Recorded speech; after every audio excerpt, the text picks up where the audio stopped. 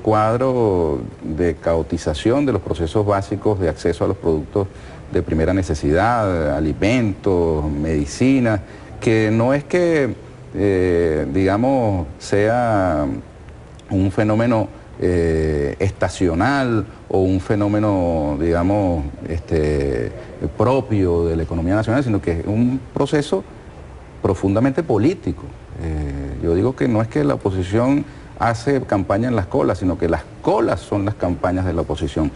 Y bueno, en ese cuadro nosotros estamos acompañando a nuestro pueblo y diciéndole que para derrotar todas esas eh, emboscadas que le han tendido al pueblo venezolano, pues nosotros necesitamos una Asamblea Nacional fuerte, que acompañe al presidente Maduro en la solución de los problemas y no que se convierta más en un factor de complicación de la cotidianidad de las venezolanas y venezolanos.